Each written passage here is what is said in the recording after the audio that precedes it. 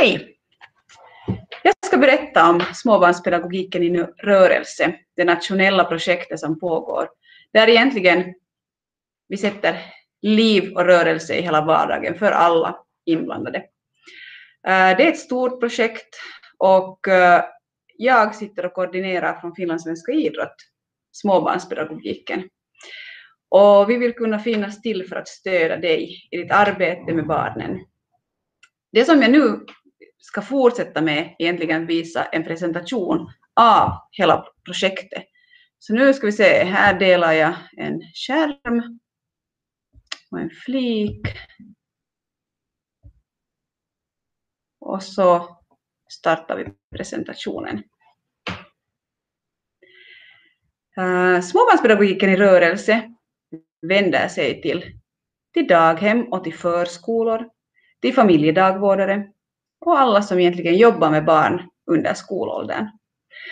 Målet är stort och eh, med i projektet finns bland annat Kultur och undervisningsministeriet, Utbildningsstyrelsen, Regionsförvaltningsverket och Liikkuva koulu, Skolan i rörelse, är också ett del av projektet och Finlandssvenska idrott. Finlandssvenska idrott är en idrottsorganisation som vänder sig till den svensktalande befolkningen. Vi har många grenar, idrottsgrenar inom oss och vi vill kunna finnas till för att stödja. Vi har också skolidrotten som en stor del av verksamheten. Vad är då småbarnspedagogiken i rörelse och vad går den ut på? Det är ett program som främjar, för att främja fysisk aktivitet och välbefinnande som riktar sig till småbarnspedagogiken. Programmet lanserades redan 2015 och fanns egentligen under en annan benämning. Sedan 2018 talar vi om småbarnspedagogiken i rörelse. Programmet handlar om att uppmuntra nya kommuner och enheter till att delta i själva programmet. Stödja kommunala insats, insa, instanser och chefer inom småbarnspedagogiken i att utveckla en motionsvänlig verksamhetskultur i alla kommuner och enheter där småbarnspedagogiken finns. Stöder småbarnspedagogikens personal i arbete för att främja fysisk aktivitet bland barn. Och programmet stöder också familjer att skapa en mer fysisk livsstil. Utvecklar programmet vidare i samarbete med att omfatta ett nätverk av experter och olika partner.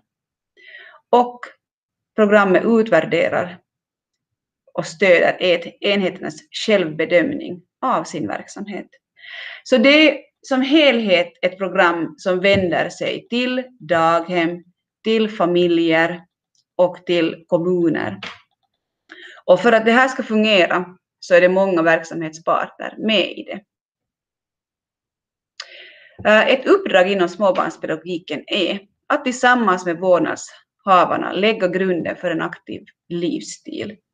Och det betyder det att eh, en del av verksamheten, den aktiva verksamheten, ska ske på dagstid inom, inom daghemmet, inom förskolan.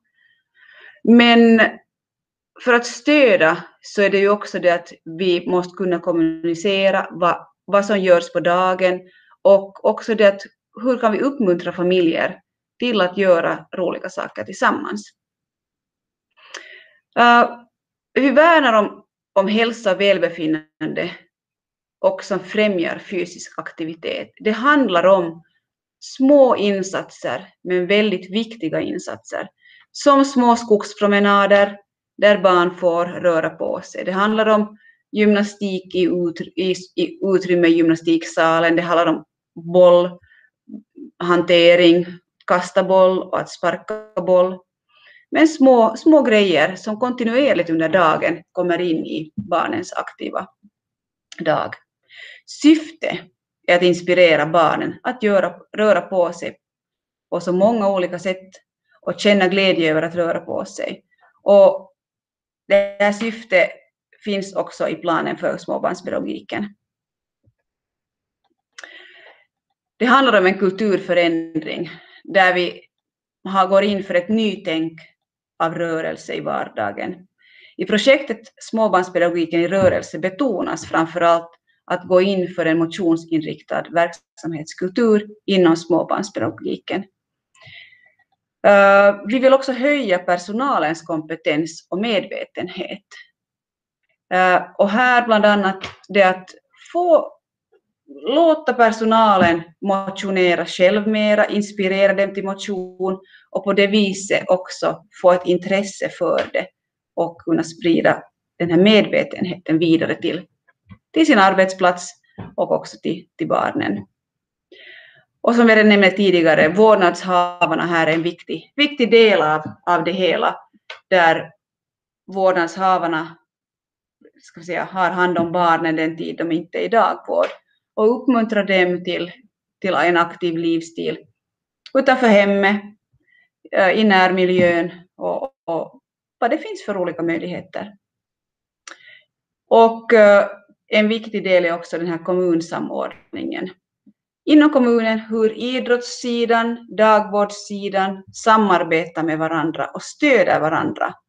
I vissa kommuner har idrottssidan gått in för att skaffa redskap till, till daghemmen som daghemmen kan använda för att motivera och inspirera barnen att röra på sig.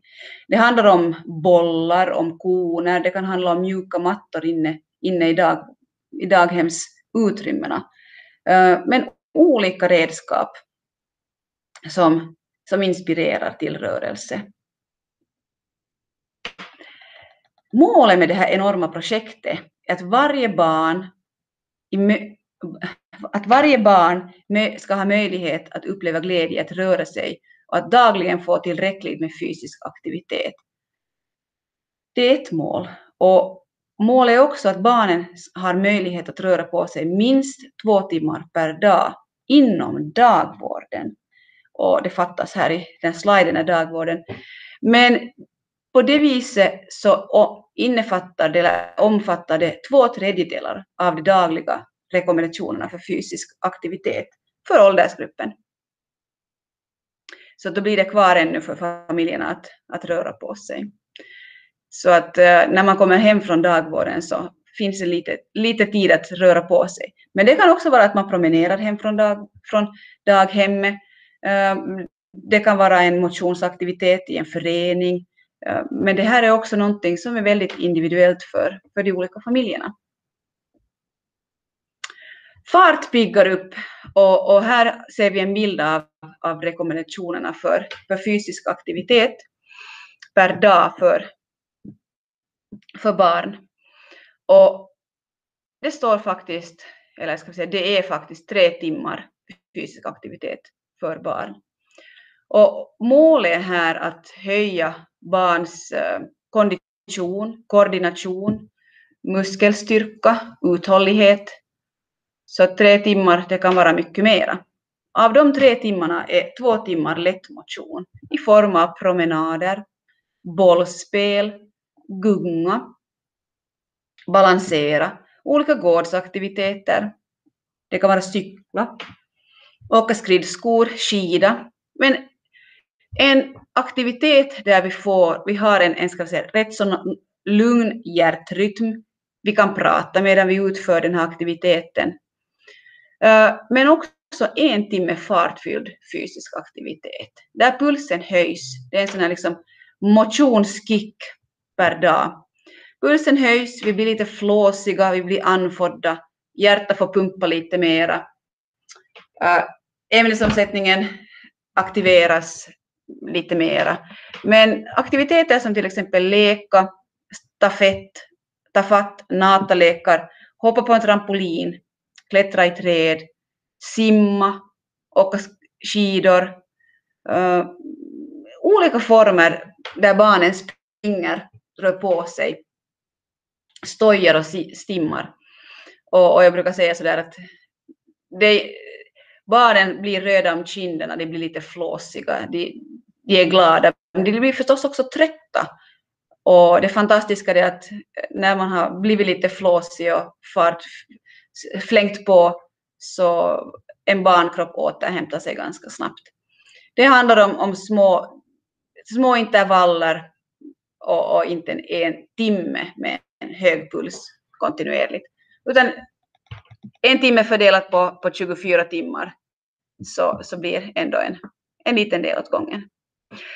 Uh, de här tre timmarna ska också stödas av lugna vardagsbestyr, hemmaaktiviteter, leka med bilar, bygga klossar, leka med dockor, utforska, klä på sig, äta, men dagliga sysslor som görs i hemmet. Och sen ska det också finnas en stor mängd av vila och sömn under barnets vardag. Så det här blir en sådan helhet, en, en kaka med, med aktivitet anpassad till åldern, men också tid för sömn, vila och lugna aktiviteter. Och på det viset får vi barnen att må bra. Så att för att den 24 timmar ska fördelas mellan dagvård och hemmet så krävs det en, en bra, ett bra samarbete mellan familjerna och dagvården. Och från det här projektet vill vi också uppmuntra den där, den där kommunikationen. Hur kan vi inspirera? Vad gör daghemmet? Vad önskar vi att familjerna gör? Och förstås, det här ska vara någonting med en låg tröskel. Eh, vi kan inte sätta ribban så högt, utan det är någonting som alla ska få göra. Eh, vi ska uppmuntra barnen att röra på sig och här är en modell, ett modellexempel på en, en videosnutt där familjen i fråga har, har inspirerat barnen att, att röra på sig. Och jag vill att du, när du ser den här filmen, ska vi säga, tar exempel, men tar till dig exempel som du kan ha användning av. Det här är barn som har fått eh, leka fritt, fått öva sin muskelkoordination, sin uthållighet och det ena leder till det andra. Eh, alla barn har inte den här otroliga muskelstyrkan i sin kropp, men en del har. Men vi vill att alla barn ska uppnå en normal rörlighet och en normal kondition som de kan, de, de kan, så att de kan behärska sin kropp och orkar med, den, med att vara med i vardagen. Så, nu tittar vi på en videosnutt som heter Ei saa. och den är på finska. Uh, titta mera på, på vad som händer på filmen och, och vad barnen gör där. Så.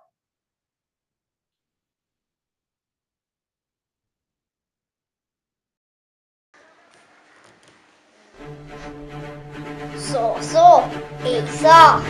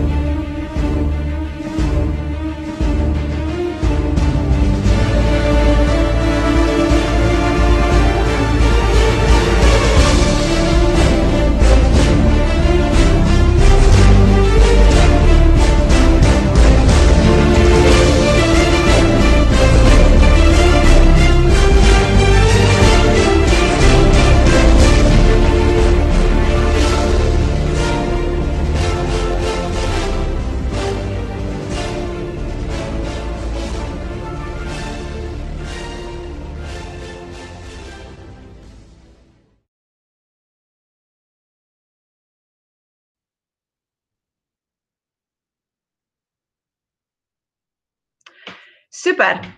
Vi går vidare. Och uh, vi ska lite tala om, om vuxnas ansvar att stödja barnen. Uh, i, vi har ett ansvar att stödja, men vi måste också kunna låta barnen leka fritt. Och från den här videon så blev det kanske lite tankeställare och sånt här. Men, men den stöder också det där helhetstänkande. Vi har inte mera samma, samma kultur eller samma gårdar och ett likadant samhälle som vi hade för 20 år sedan. Vi har ett mera stillasittande samhälle. Vi har mera faror i vår vardag än det kanske fanns förut. Barnen kan inte mera på samma sätt leka fritt på gården. Vi har en trafik som har vuxit kontinuerligt och våra vägar är farligare nu för tiden än vad de var förut. Så det är också det att var kan vi få in den där, den där rörligheten som kanske faller bort när barnen förs från ett ställe till ett annat. Så att ansvaret hos de vuxna är en, en stor del, men, men vi måste också kunna delge den till barnen så att de är medvetna om att det är bra att röra på sig. Välbefinnande, hälsa, lärande så att varje barns, barns rätt att röra på sig och att leken tillgodoses varje dag.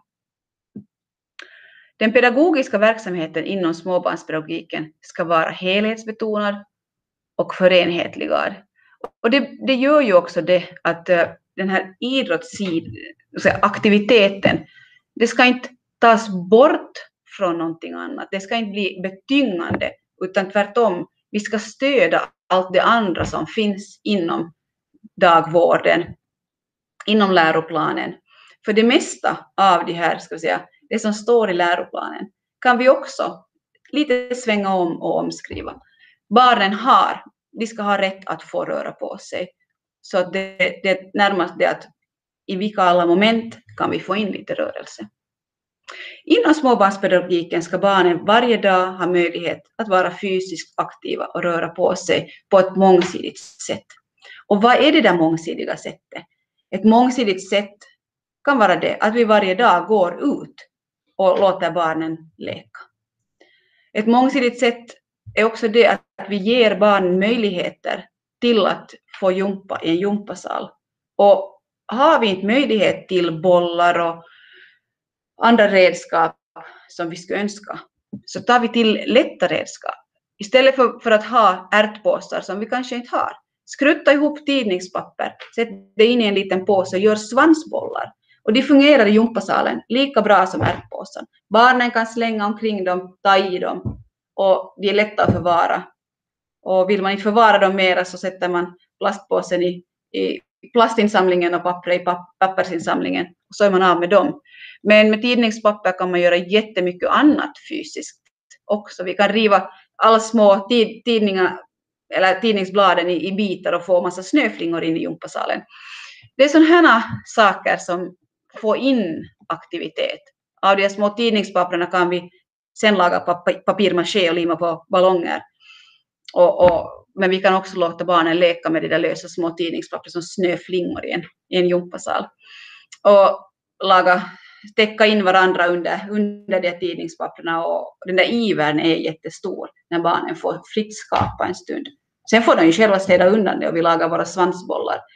Och simsalabim på en väldigt snabb stund så har vi städat undan hela, hela gympasalen igen. Så det är att få in olika moment.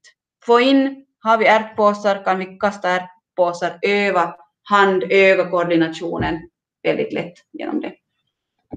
Någon minut, alltid nu och då. Vi talar om en motionsinriktad verksamhetskultur där vi integrerar verksamheten i vardagssituationer och rutiner.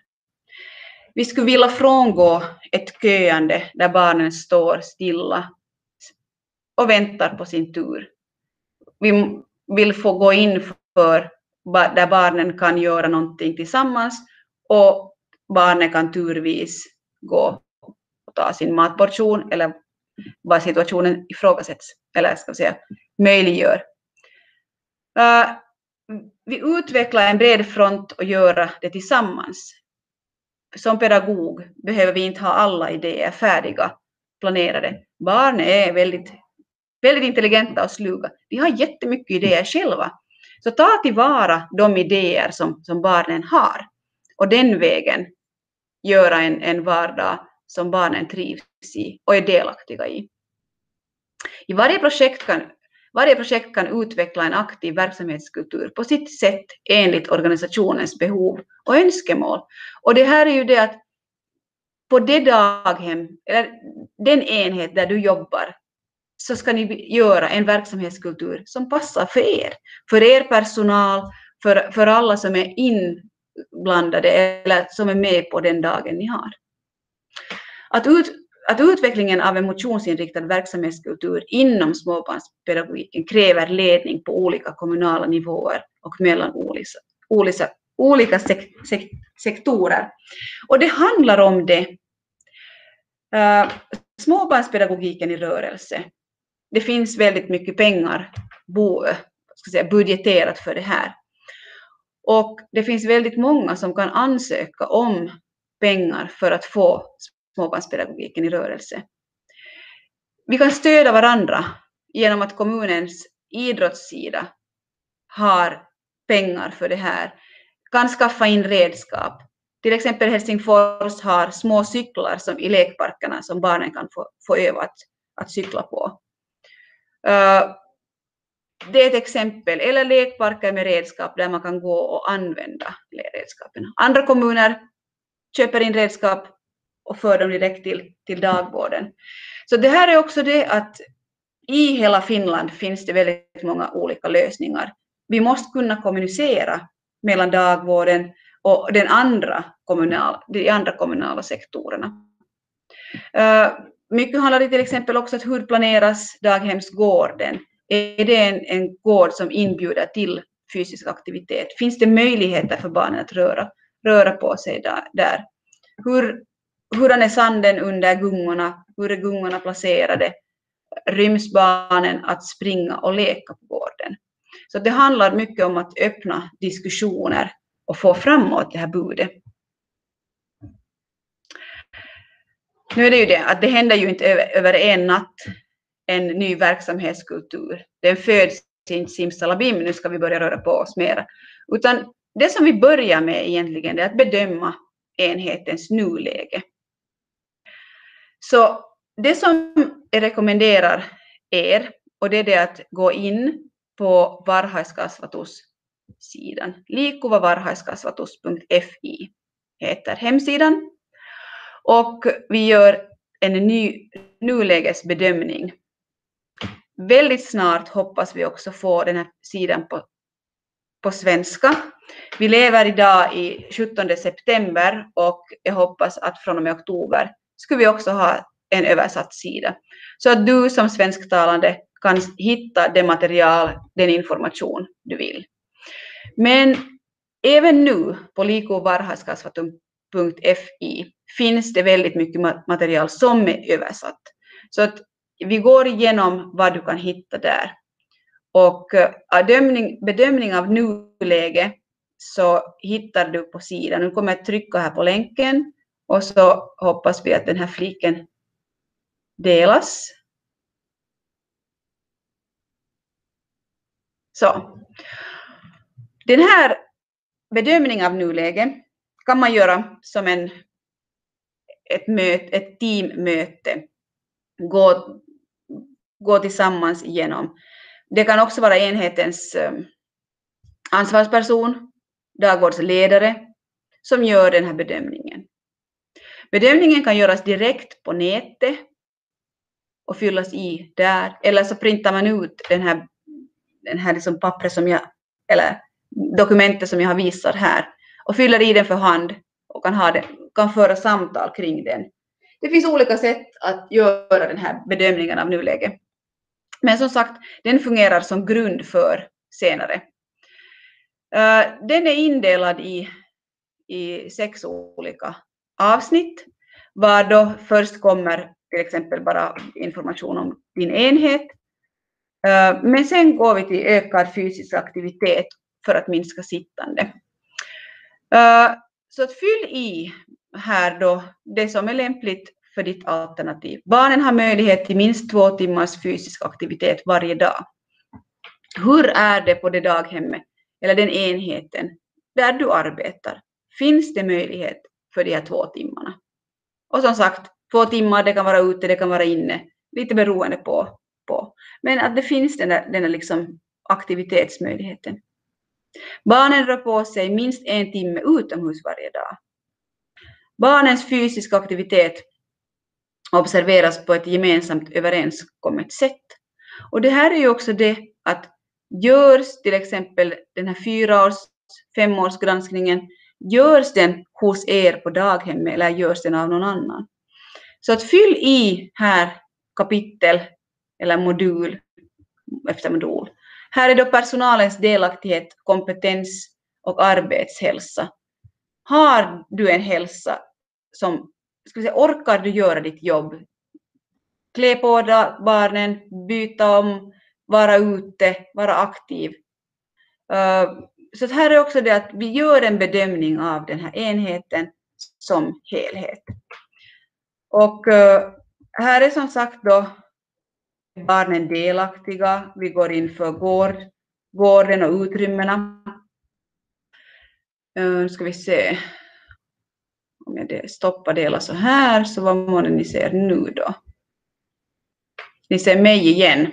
Så, nu delar jag tillbaka till nästa flik som, som vi ska ha och eh, då går vi tillbaka till den här småbarnspedagogiken så här.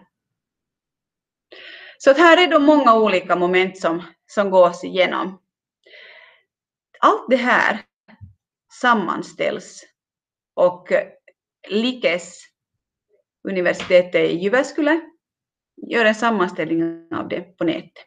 Så att här kan ni jämföra er, din enhet med hur det ser ut i kommunen eller jämföra med andra kommuner. Och det här är egentligen bara en utgångspunkt var vi börjar jobba. Ett år senare kan man göra en ny nulägesbedömning och se vilka är de områden som vi har förbättrat. Så det, vi talar om den virtuella databasen Virveli, där allt sammanställs. Och man kan på riksnivå granska situationen. Och, och regionalförvaltningsverket är de som, som har informationen där. Låt oss bygga tillsammans. Som jag mycket har nämnt, det krävs en hel by för att få, eller en hel kommun för att få den här kulturförändringen i, i, att börja rulla. Det är stora kugghjul. Men vi har regionala nätverk som koordinerar tillsammans. Så där gäller att kunna föra en kommunikation tillsammans. Vi har småbarnspedagogiken och ledningen som måste göra besluten för att gå in för en mer aktiv vardag. Och sen har vi familjerna som behöver stöd från småbarnspedagogiken. Så att här är, det handlar mycket om att kunna veta vad den ena organisatören gör och vad den andra. Men daghemmen ska också få stöd. Och eh, det stödet fås av, från kommunen, men också av Finlandssvenska idrott, eh, liikunta-alueet. Är du i södra Finland så finns det Etelä-Suomen-alueet. Eller i Åboland, Liku. Eller uppe i Österbotten. Så de finska regionerna finns också för att stödja. Finlandssvenska idrott samarbetar med regionerna. Och eh, vi samarbetar och vi står för den, den svenska verksamheten. Vi översätter material, vi hjälper till, vi arrangerar kurser. Så att på det viset får vi hela det här kugghjulet att snurra och röra på sig. Det vi kan bidra med är workshoppar för chefer. Ungefär en tre timme, timme lång kostnadsfri workshop för dig som är ledare på, på daghemmet. Uh, mycket av det här har vi fört via, eller ska vi haft via nätet nu under coronatiden, men workshopparna kan också ledas på plats. Eh, den utbildningen är kostnadsfri och den hjälper dig som dagvårdschef att komma igång med hela projektet. Det handlar också om att förutom det arbete du gör med din personal, din planering, din verksamhetsplanering, också att få in rörelse. Men där får du stöd. Sen finns det övriga kostnadsfria utbildningar, är en introduktion i rekommendationen för fysisk aktivitet. En en timmes det där kurs. Introduktion i små steg. Hur går vi praktiskt tillväga då vi vill inleda vårt arbete med, med småbarnspedagogiken i rörelse? Och sen barn i rörelse inom småbarnspedagogiken. Var kan vi få in lite rörelse? Och sen, när vi har kommit igång, hur kan vi stödja varandra? Då behövs det sparring, sparring så att vi får stöd av till exempel andra daghem. Så här gör vi och så här gör ni och hur kan vi, hur kan vi bli bättre på det vi gör, hur kan ni bli bättre på det vi gör. Så det, det handlar om att nätverka, hitta de där nätverken där man får ut information. Förutom att vi erbjuder motsvarande utbildningar som det finska så, går, så ingår även ett paket med inspirationskurser i vårt programutbud. Inspirationskurserna kan beställas till kommunen eller till dagvårdsenheterna. Finlandssvenska idrott har tre timmars kurser. Det kan vara skrinsko, åkning för barn, skidning för barn. Det kan också handla om gymnastik i små utrymmen. Eller naturparkour, utomhuspedagogik eller skogsmulle. Vi har väldigt många kurser som vi, vi kan erbjuda.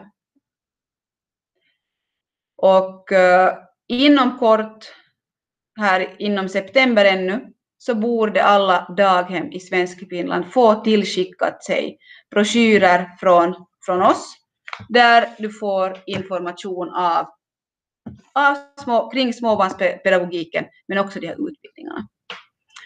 Sen vill vi också kunna stödja med föräldrakvällar. Vi vill kunna hjälpa er att inspirera familjerna att röra på sig. Vi vill kunna bidra med det med de här rekommendationerna hur viktiga det är att barn rör på sig. Och oftast på föräldrakvällarna så har vi de föräldrarna som bryr sig om sina barn och är där på varje föräldrakväll och redan gör allt det som, som görs. Men vi har också de som kanske inte dyker upp på föräldrakvällarna. Vi har kanske de som inte har den där väskan med barnets kläder, utbyt, ombyteskläder och så vidare med. Så vi vill också kunna försöka nå alla familjerna. Och då kan det vara lättare att någon utomstående kommer och föreläser om fysisk aktivitet och hur viktigt det är för er på er enhet. Material på svenska finns det, som sagt det nämnde jag om, och det hittar du här på, på Lik och varhaiskasvatus och material. Så trycker du på länken så kommer du till, till här, till materialet. Och scrollar du lite ner så kan du hitta här material på svenska på högra sidan. Och trycker du på den sidan ah, nu delar jag så där kommer du till likovarhaiskasvatus.fi och materialet och scrollar du lite ner här så kommer du till olika flikar på högra sidan. Var det står då material på svenska. Och när du trycker på den så hittar du det material som nu finns på svenska. Och här är då idéhandbok för kommunkoordinering, småbarnspedagogiken i rörelse, barnens 60 egna lekar. Och de här lekarna har fötts under projektets gång och är utarbetade från daghem så att vi har tagit tillvara det som redan finns och skrivit ner dem. Så det här finns till ditt förfogande när du vill börja. Småbarnspedagogiken i rörelse, logotypen. Så är ni ett daghem, daghem som går in för småbarnspedagogiken i rörelse så ska ni ju berätta om det Så tryck gärna upp den här logon på papper eller någonting annat som, som skickas till hemmen. Sätt det på anslagstavlan att ni är med så att familjerna också vet att ni är med i, i själva projektet. Det finns broschyrer och framförallt den här rekommendationen för fysisk aktivitet under de första åren. En jättebra bredvidläsningsmaterial var det står konkret kring barnets fysiska aktivitet. Så. Uh, vi går vidare. Nu ska vi se om jag kan komma tillbaka till min egen föreläsning igen här.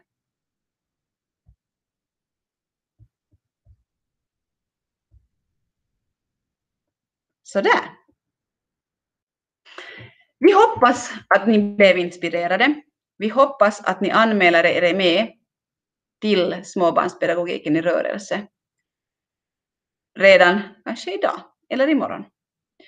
Vi stöder er i det arbete ni gör, men vi hoppas att ni sätter igång den här processen nu.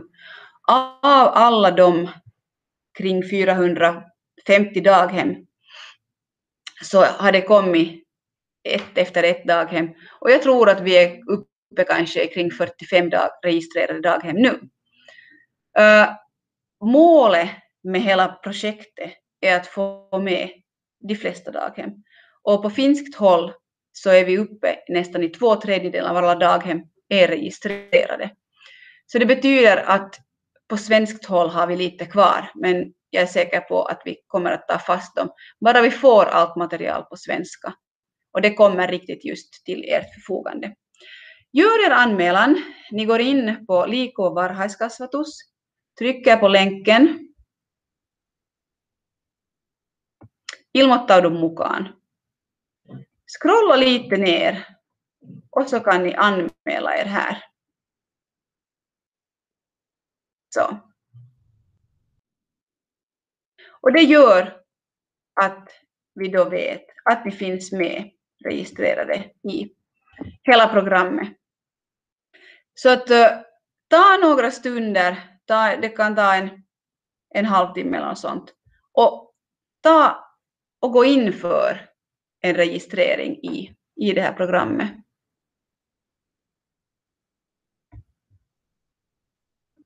Så.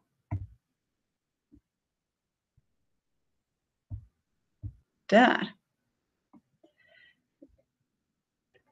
Har ni några frågor får ni väldigt gärna rikta dem till mig här på Finlands svenska idrott eller till de regioner ni är aktiva i.